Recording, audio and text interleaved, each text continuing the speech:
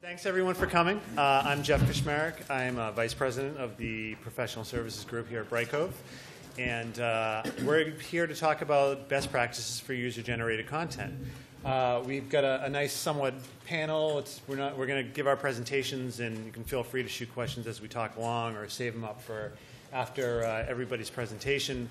And uh, we've got uh, a good mix of uh, CMS partner and, uh, and uh, people that, that work specifically on uh, uploading some products like that. And we actually have a, a, customer here to talk about user generated content as well. So I just wanted to give a, a quick little perspective, which is funny about, um, and don't note, don't note that I left in a bullet here. So, um, so what, is he trying to say? What's that incredible piece of knowledge he's trying to say with the secondary bullet. Uh, no, that's the content. This is the secondary bullet, not the PowerPoint template. So, um, the funny thing is, is uh, I uh, I didn't see the uh, we we don't see the keynote presentations before or when we're creating our content.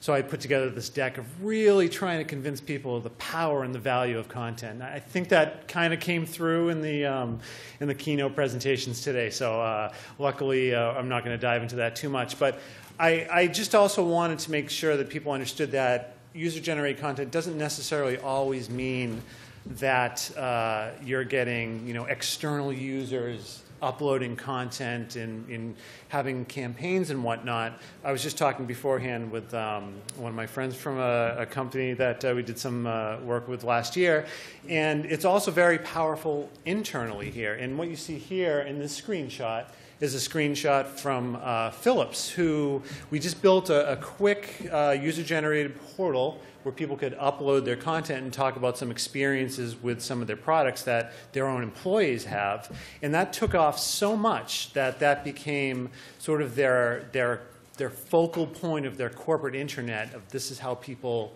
talk amongst the company. Um, so I just wanted to, to, sort of start off with people, and it's not just about uploading your, your roller skating CAD and whatnot and, and funny stuff like that. So um, you know, we saw the, the big push for user-generated content about two years ago uh, when a lot of the content um, around the, the marketing started to show that pages with video draw more vi visitors through search. So if you're doing a search in Google and you see something with video, those pages are, are always getting the, the more click-throughs. Um, and now I think there's some, you know, I think Steve has some in his deck too, about if something is on somebody's video, if there's a video on somebody's wall on Facebook, it's, it's like 200 times more powerful than, not to steal your thunder, but uh, it's like 200 times more powerful than just seeing a, a, search result in Google. So people started saying, well, we, we've got to get all this content. We need video content on every page. And wow, that's super expensive to do that. And how are we going to do that? And that's when we started saying,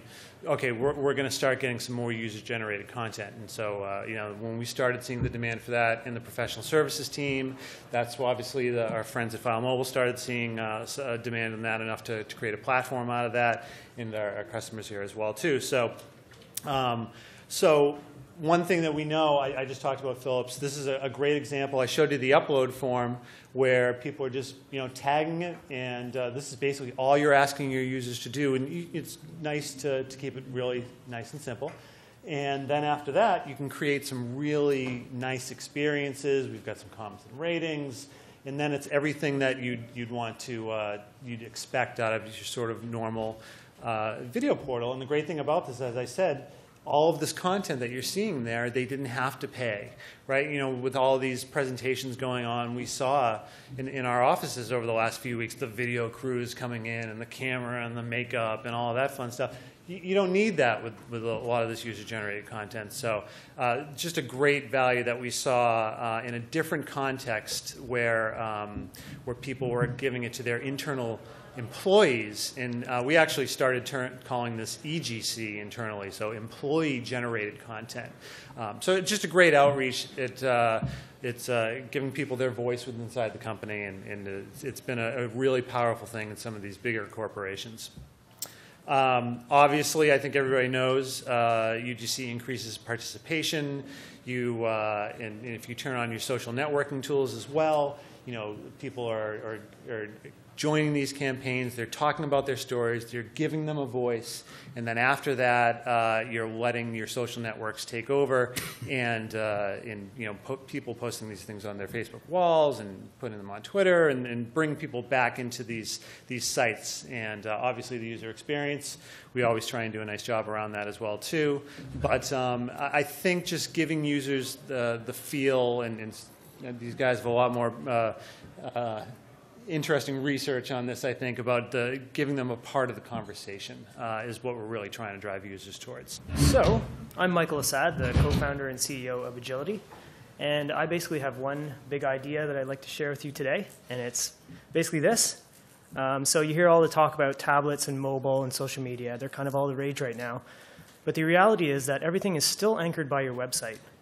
So, your website is still the primary discovery vehicle for your audience. And user generated content is the engine for that. So, what do I mean by discovery? So, basically, your website is the most accessible form of your content. Anyone can access it from anywhere, whether you're at home or at work, on your phone or on your computer. Your content is most accessible on your website. And obviously, your website content sort of automatically ties in with search engines. It's easy to share on social media. And essentially, your website is still the most accessible and the primary form of your content. So how do you get discovered? Um, one, one of the primary ways is through search engines. So obviously, Google's still the primary one there, but uh, Bing and Yahoo are still significant and need to be uh, you know, remembered. So obviously, there's also social media. So Facebook and Twitter being the obvious ones, but you can't forget about some of these upstarts. Um, YouTube is huge, obviously, for video. LinkedIn, Google Plus is growing. It's 90 million users uh, right now, as we learned this morning. And uh, newer sites like Pinterest, so magazines, for example, are seeing significant amounts of traffic coming in from Pinterest these days. Um, StumbleUpon, Reddit, these are also really good uh, sources of, of uh, traffic and discovery. So obviously, you know, you have to pick the channels that make sense for your audience. But the primary way that you get discovered, and Jeremy talked about this this morning as well, is by creating great content. So today, everyone's a publisher whether you're brand or media. Look at Red Bull, for example. You know, you always hear the Red Bull example, but it's, it's quite exceptional. These guys invent their own sports, like airplane racing, downhill skating. They just invent sports, put them up on social media channels, put them on TV, and they build their audience. So how do you generate great content? Well, the Red Bull model is to pay top dollar for professional screenwriters, producers and uh, filmmakers and whatnot. And it provides exceptional results. Unfortunately, most of us don't have the budget for that. So an alternative a lot of companies are, are using is uh, to offshore content development to companies like India and overseas, um, where you can get large volumes of content produced for very little, but the quality suffers. So here's an idea. Tap into your loyal user base. They're free. And they're also very passionate. So these are users that come to your brand or come to your publication every day or every week. They know what you're all about. They're very passionate about your topic. And uh, so they're going to produce great content for you, basically for free. UGC is also mass, mass volume. So you can, you can think about like the number of users you have out there. You know, a fraction of that is going to be passionate users. They're going to produce content for you. If you're a big brand like Red Bull, you have millions and millions of people that can produce content for you. And you don't have to tell them what they want, or you don't have to guess what they want. They'll tell you what they want. So what you end up doing is rather than spending your time and money generating content, which is expensive, you can spend your time curating and enhancing the best content. So user-generated content is inherently viral. So people are contributing this content, so obviously they want to share it with their friends, families, and coworkers. So let's say you have a huge user base. They're, ready, they're prepared to, enter, to uh, contribute content for you. So how do you get started? So basically, the first thing you need to do is make sure that your website has a facility to, um, to accept user-generated content and to um, you know, get it into your systems.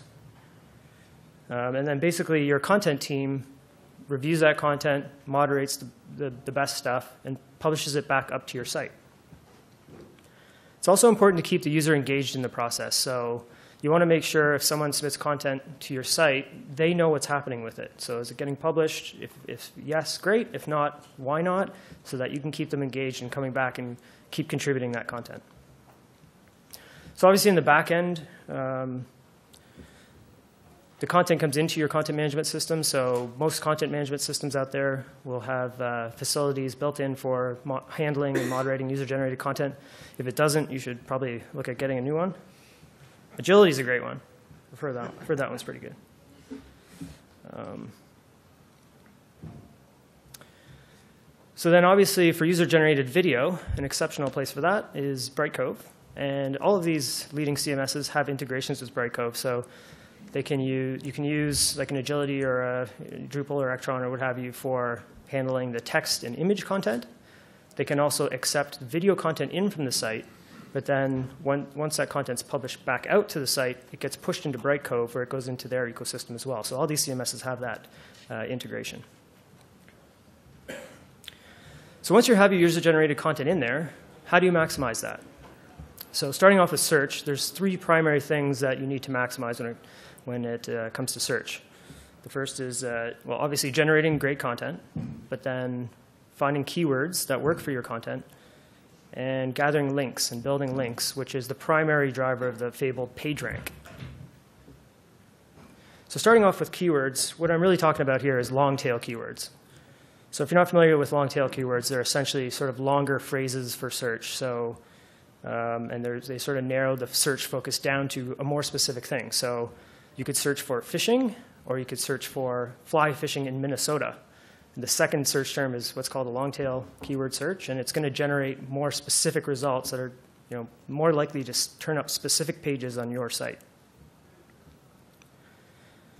So the first thing to do with, uh, in terms of long tail keywords is to figure out, okay, what are the long tail keywords that matter for me? Um, so it's it's usually a multi-stage process. There's different tools to do that. Uh, Google AdWords is a good place to start to see you know, what people are searching for. Um, that's a free tool. Uh, there's also paid tools from companies like HubSpot and SEOmoz that you can use to start establish what the long tail keywords are that matter for you. So then once you figure out what the long tail keywords are, you sort of build into your curation process a step where your curator or moderator actually inserts the keywords into your content. So let's say you get a really great article talking all about fishing, but it doesn't say fly fishing in Minnesota, and you really want to return results for that. You, you go in and you insert those keywords inside the text. And obviously, you don't want it to sound too fabricated. You have to be clever about it. But adding that step to your cur curation process will help get those keywords into your content, and then that content's going to show up in the search results. So the other element of search is link building. So the obvious place to start is through posting your site on free directories. There's hundreds of them out there. You can search for it and you'll find uh, directories where you can post your site, just a straight up link to your site with a description kind of thing.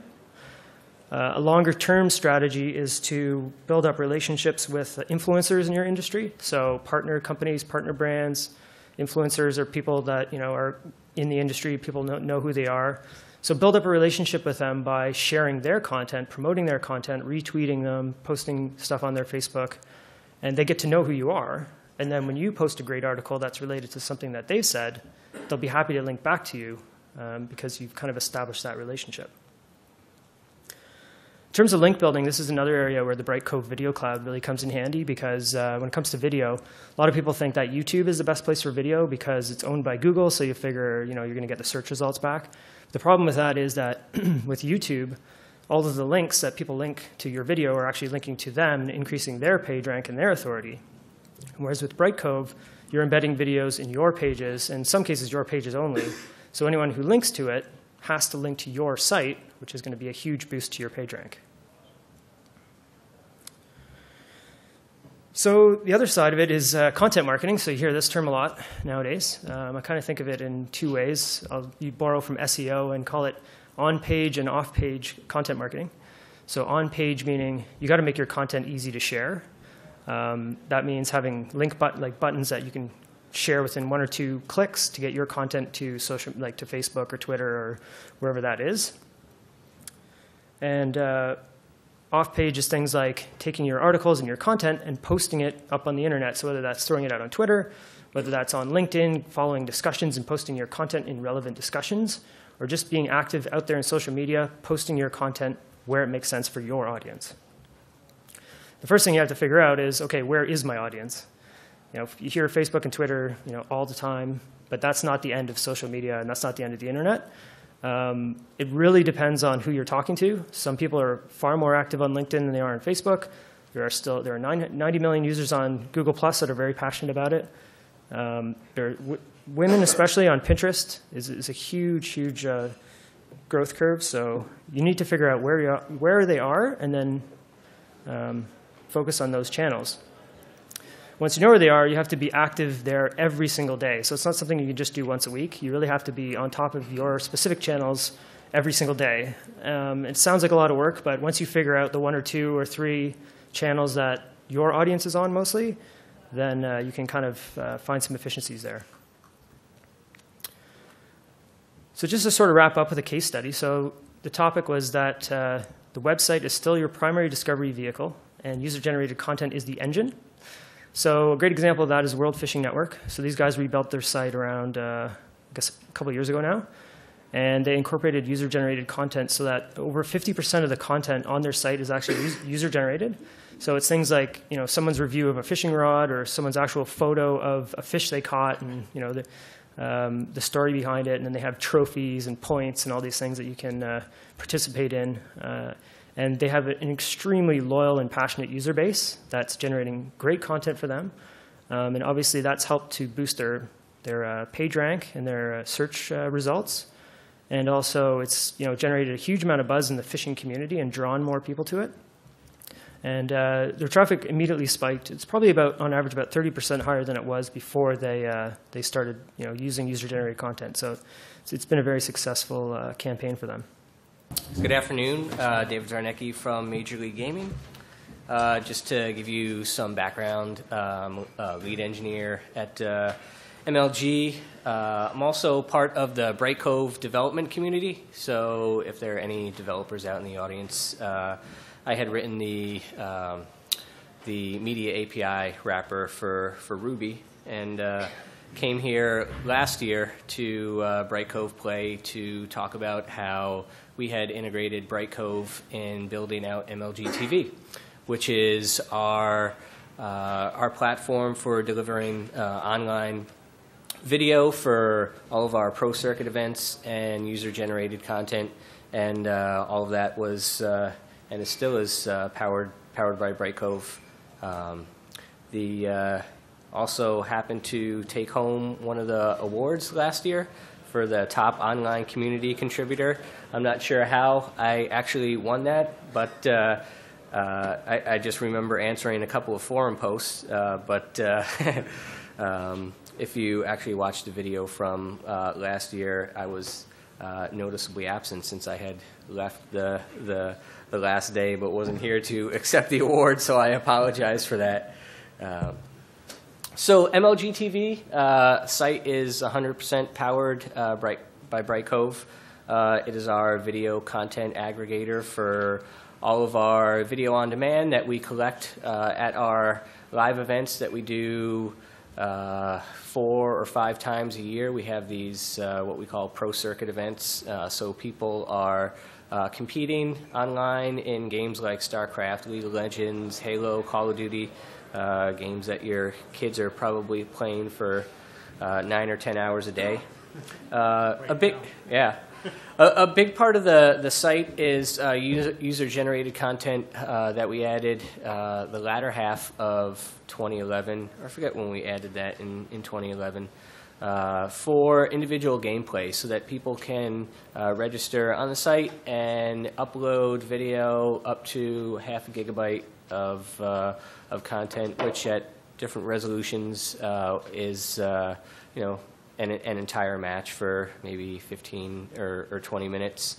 Um, but, uh, you know, the users will, will use that to uh, showcase uh, team play, to go over strategies. So it's a, a really integral part of um, and an interesting complement to the, the produced and professional content that, that we offer there. Uh, if you go there right now, mlg.tv, uh, you'll see it's organized into playlists. We, we do tagging, uh, all the individual and related videos uh, that, that, that Brightcove offers you from the API, um, searching via text and tags, and then uh, uh, I forget, we haven't done this for a while, but we also do streaming on the, the homepage um, for, for different nightly events where teams are, are competing against one another. Uh, so the format of my presentation uh, was taking kind of six different areas, I think five or six different areas of uh, building user-generated content into MLG TV and kind of the lessons learned. So uh, maybe a little bit lower, uh, lower level. I've tried to um, not be as nerdy um, as I might look. So but again, if you, uh, if you have questions either uh, in the presentation or afterwards or afterwards, um, then uh, be happy to answer those. Uh, So this is kind of what it looks like if you are uh, registered on the site and you go to upload content. So you can drag a video onto uh, the, the box there or just select one to upload. Pretty similar to uh, what was, what Jeff had shown before with the, the blue tube and uh, Philips. Um, So it'll tell you what file you're uploading, give you some up indicator of upload progress. You can do a description uh, to talk about the, the video and uh, uh, then also tag the content. And, you know, all of that you can pretty well correlate to uh, what, what is in Brightcove's backend. So first best practice here, upload, up, uploading via your, your web server. Uh, I apologize for the, uh, um, uh, maybe for the uppercase, lowercase here, but, uh, so I'm assuming that in your infrastructure, you've got uh, an application server that, that sits behind a web server. And traditionally, uh, application servers are terrible at uh, at doing things for a long period of time uh, and uploading large files like half a gigabytes uh, of, um, of user-generated content is, is certainly one of those areas. Uh, so instead of having your application server do all the, the heavy lifting of trying to get data um, from, from the end user to, to be uploaded, uh, have a web server that's, that's sitting in front, and typically they're uh, just drop-in modules for uploading and upload progress uh, that you can uh, uh, just have the IT folks or your system folks configure. And uh, they're also really good at handling uh, large numbers of uploads at the same time. So, you know, in our case, we have players who are competing in matches, and uh, you know, if there's disputes, they want to upload uh, those replays right away so that somebody can can resolve those can resolve those disputes. Uh, so definitely better to have your application server uh, doing the, the things that actually running your application as opposed to powering your your uploads.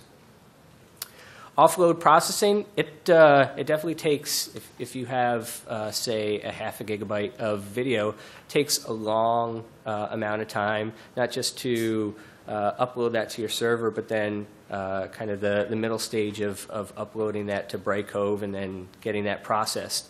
Uh, again, application servers are, are bad at the, the long running tasks. Uh, so best to do all the, the things that you need to do to process video, kind of get the state of uh, how the, the video is being encoded, if there was a problem with uh, uh, the video being uh, uploaded to Brightcove, but, but doing those kind of out of band from, from the rest of, of your application. Uh, so on MLG TV, when we were doing uh, the UGC portion, uh, we just assume that uh, you know we have a few different workflow states. So things are uh, queued, they're being processed by Brightcove, they either fail or complete, and when we start doing uploads to Brightcove, we store a unique reference identifier so that we can correlate and easily uh, search that video, not just in our database, but uh, when it gets uploaded to Brightcove, uh, so we can be able to pull that, pull that easily. Uh, it's a wonder the internet works at all. Um, if uh, when you've actually developed um, for the internet, so sometimes the internet doesn't work, uh, and I guess there's the the old adage of if at first you don't succeed, try, try again. So in in our case, uh, we found that um, just network connectivity or, or whatever it is, uh, you know, we, we may lose a connection to, to Brightcove from our service provider. So uh, just retrying your, your uploads again. Um, a shame you can't go directly to Brightcove to do UGC, uh, but you know, in uh, in the absence of actually being able to do that, it's just easier to to retry and. Uh, um, usually we'll, we'll get it right within uh, um, the, the first try. Searching uh, for us is really important. People want to be able to search via players, via teams, uh, different types of uh, um, tags or, or what have you. Um, so for us, uh, searching in, in Brightcove is powerful, but uh, we needed a way to augment the, the search capabilities. Um, the, the, one of the first issues that, that we ran into was kind of having a lag between uh, the user-generated content uh, being uploaded and then it being available uh, via the, the APIs for, for searching. Uh, so we, we decided to also index and be able to search all of our content locally. So we, so we index all of the, the Brightcove content. We have background jobs that, that run periodically to pull all the modified content from Brightcove. And for us, in the, if, if you go to MLG TV right now, you'll see that the site is basically instantaneous when you're, when you're searching uh, and kind of faceting around and, and looking for a different gameplay. So for us, that was really important just to be able to boost different things that uh, that we weren't able to necessarily do with the Brightcove API. So for us, uh, having uh, local search uh, really helped with uh, being able to break down the, the user-generated content. And then with, with Brightcove, um, since the API and when we're interacting with uh, we're interacting at the, the API level. So it's only updating for us uh, every, or it only updates every five minutes. So there's really no need to keep hitting Brightcove every single request uh, response there to, to pull back uh, when you're just going to get unchanged data. Uh, so we cache all of that data locally. Um, and uh, we store that in, uh, in a local cache uh, so that uh, we're not hitting Brightcove all the time to, to actually uh, get the data that we need. And again, you'll see that's why the, the site is really responsive. Uh, what's also nice is that depending on how you're caching the data, if you're storing that in some persistent way, if there are problems with Bright uh, or whatever, um, whatever it is, uh, your site can continue to function, uh, which is which is nice. Yeah, my name's Steve Hulford. I'm one of the founders of Filemobile, and uh, we are a premier partner at Brightcove. So one of the other ways you can upload videos into Brightcove Video Cloud is through the Media Factory platform. And uh, we act as the sort of moderation transcoding tool, and you can send videos to Brightcove upon approval or automatically, or you can batch upload to Brightcove from there. So working with uh, Brightcove now for a little over a year and, and, and many of Brightcove's customers. So you can buy our platform and our products directly from Brightcove. So we're happy to be working with them. Um, we're based in Toronto and New York, and uh, we've launched over 2,300 different UGC programs, we're proud to say. So I want to talk a bit about UGC here, and one of the big things I'm going to talk about here is, you know, the, the value of UGC. Um, it's a huge uh, value driver, and I'll, I'll go through some of these points here. You know, one of, we, we talked a bit about the, the fact that it reduces your content acquisition costs. You, when you see how expensive it is to produce professional content, um, there's definitely a need, I'm sure, in your organization to uh, look at your audience and see what you can have them send you uh, and, and build some interesting programs around having them submit content to you. Um, when you have all that video content uh, in, in your programs and platforms, it becomes a great SEO boost. We talked about that a little bit earlier as well. When you've got a thousand videos out there all around unique subject matter, when people are searching for those things, they're going to find your site. And that one piece of content that didn't cost you anything to produce is now driving traffic to your site. And then, of course, the people that are actually submitting this stuff uh, become great brand ambassadors, and you can find out who these people are and build direct relationships with, with them. There may be sponsors uh, that are involved in your programs as well, and you can, as a, as a value, deliver to them some of these brand ambassadors. And there, there's some real characters, I'm, I'm sure, as you'd imagine, uh, doing these types of things. And then, as, as UGC uh, often you, need to register to do a lot of these different functions that, that are UGC. You can start to build a database of, of, of these people and, and, and mine you know, who the active users are and, and what it is they're contributing, and you can learn from that and then tweak your programs accordingly. And then UGC, obviously, with all this video people are uploading, it's a huge way to uh, uh, add stickiness to your site. When you've got all these video minutes being consumed, there's pre-roll opportunities there and uh, post-roll opportunities. And then this last point, I think, which is a really, really important one, um, is you can help, UGC can help you grow your audience. And you do that through having people interact with UGC uh, through social networks. And the way we just define what UGC is, is it's the social activities that drive this referral traffic and engagement. Things like voting, rating, commenting, uploading, friending, sharing, all those social activities.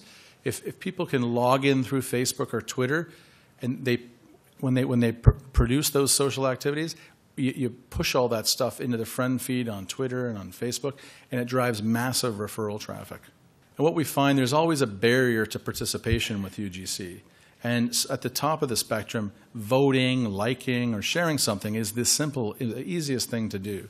Um, and down at the bottom, asking someone to produce a video is one of the more difficult things to do. So what you want to do is combine in all your programs all the social activities you can because when someone posts a video in their friend feed on Facebook or they like a video on friend feed, it has the same viral amplification. So you want to make sure you cover all these different social activities, pack all of them into your applications, and they'll drive this referral traffic I'm talking about. And why should you care? Because the results are really compelling. We, we, we did a study on our platform of 200 different programs, and we found that the UGC social activities drove an average of 15 to 20 percent incremental traffic through these social networks. So people are discovering this content um, through their social networks, through friends sharing content and discovering them on Facebook and Twitter and places like that. And then it's a different type of user that follows a link like that into your site. It's someone, they're obviously engaged in social networks and they're, they are the type of person that is more inclined to share and vote and rate and comment than an average user to your site not coming from social networks. So what are some of the popular use cases for UGC? You might be thinking, this is really cool, but what, how does it apply to what I do? And we're seeing all kinds of different uh, innovative and creative ways of using UGC. Lots of crowdsourcing of content. So, you know, whether it's a, a website asking their audience to submit recipes or inside a corporation, employee-generated content, people asking to uh, you know, continued knowledge sharing in the company, um, or brand managers who are aggregating all the creative assets inside the corporation that are being produced. Or if you're involved in sporting activities and doing 5K runs and mud runs and things like that, people producing those types of videos and sending them in. And then we see a lot of news organizations using citizen journalism to actually um, augment the broadcasting that they're doing, where they're asking their audience to submit photos and videos of breaking news, and they're using them on TV. Like this video here, this tornado footage uh, that, that, ripped through uh, Toronto not too long ago was caught by uh, a, a, member and put on television, and that broadcaster aired over three hours of UGC footage that evening because they couldn't send their cameraman out in harm's way. And uh, their audience um, submit content on a regular basis. They use it on TV. We ask a lot of our clients, especially the broadcasters, how um, you know what's the, what's the main reason why you get so much UGC sent to you, and it's because they show it on TV, and it sort of reaffirms to their audience that this stuff's going to be used, it's going to be posted, and there's this element of people want their 15 minutes of fame. So you know, think about that as a, as a way to give it to them. And so here's some tips for getting more UGC. You know, you got to be very specific when you ask people to do something. You got to be very specific. It's, if, if you're doing an album cover art contest, you need to tell them exactly what they need to do. Uh, don't give them too many calls to action. Give them a specific task, and, and, and they'll do that. And then if you're thinking about motivi- motivating them with prizing, think about an experiential prize, something money can't buy. You know, time and time again, that seems to be the thing that really gets a lot of people excited. Like the picture on the screen here, if anyone remembers the, the, the best job in the world, uh, in Brisbane, Australia, they ran a contest for the best job in the world, and they had something like $200 million in earned media because this just took off virally. And UGC is uh, naturally very viral, uh, and this content was shown all over the world. Make sure you, you want to think about a concept that's going to mine the social graph. So, if something that, uh, like for example, people that play on sports team, they're right there. You've got 20 or 30 people that have a common interest and all know each other and probably friends on Facebook. So think about concepts where one uh, one concept will really resonate with someone on a team and it'll spread through that team. And then ultimately, teams are competitive. They'll want to compete with other teams. Whoops. Um, and then think about too, um, you know, adding all these social activities and like commenting and rating and voting to drive that referral traffic. And you also you want to seed your content too. Often, um, just to start it off, it's really important that if you're asking them to do something specifically, you've got five or six examples. When your project launches, that they can see exactly what it is you're looking to do. And you maybe you produce that in house. Maybe it was produced by uh, some of your employees, and you might take that content down once you start getting UGC in the door. But the last thing you want is to go live and there's no content there, no examples of what it is you're looking for. And then you want to promote the best stuff on a regular basis. Post, you know, some interesting ones that are being um, uploaded. Post them on Twitter. Post them on Facebook. Make a point of mentioning the person's name that did it. That plays to this idea of wanting to be famous. And then remember too, UGC. Um, it needs to be curated. You really got to moderate this stuff. You got to moderate the comments. You got to moderate the pictures of it. Make sure there's no offensive content or copyright infringed content um, it's a big turnoff for an audience to go there and, and, and see uh, some of the dialogue that, that sort of degrades on like YouTube videos and things like that. So if you keep it clean and, and, and interesting and engaged, um, your, your audience will thank you for it. So I'm going to show you a few quick case studies. Um, this is something Fox News is doing. They're using user generated content to ask their audience for photos and videos that they can show on the nightly news. And they're doing this through assignments. So they're asking their audience, they're creating assignments on a regular basis. So, what are you paying at the pumps? Is, is one of the assignments. So, people are taking pictures and videos of what they're paying at the pumps, uh, and they're sending that in. They use that on TV. Um, when, when the tornadoes ripped through Dallas in February or March, they created an assignment and asked people in the Dallas area if you've seen this footage, you send it to us. And they used that on the news that night and had some of the most spectacular footage was sent in to Fox through their, uh, through their audience. And this is active.com. This is a really popular sporting site. And what they're doing is they're using their community to show them how you, what, what, do you, what do you do to be active? All the different ways people basically move and, and, and do different activities, outdoors or indoors, submit the photo and video into the active community and it's all geotagged. So uh, this content, uh, you, you, can see content that's geographically relevant to you. And of, again, this is all being done um, through a Facebook login. So this stuff is being posted in Facebook and driving that referral traffic. Life is Good, a great Boston-based company. They're asking their audience to uh, you know, submit content around the concept of good vibes, and they're actually pulling in Instagram feeds and They're curating that. They're moderating the Instagram feed, and they're also allowing people to upload their own photos and videos yeah, into the site as well.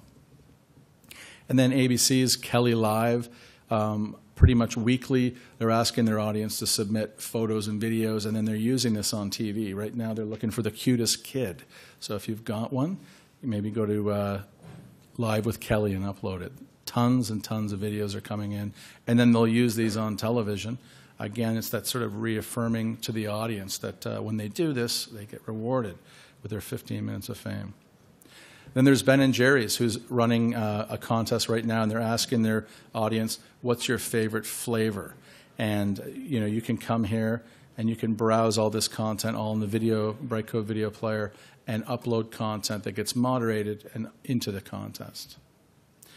And lastly, here, this is a, a, a really cool concept that uh, that we're launching that allows um, organizations to crowdsource content, and anyone who has the app installed uh, you'll be able to create an assignment, for example, put a pin on a map and say, you'll be able to see where your audience is. So if there's a specific assignment with Main Street and Front Street, you'll see you've got within five blocks, there are 20 members. If you zoom out to 10 blocks, maybe you have 50 members, you can send them a geo push notification and give them something specific to do. If it's some breaking news like a car accident, take a picture or video of that and, and send that in. So we're really excited about that. So how do you im- implement these great UGC programs? You can do this with Brightcove and Filemobile.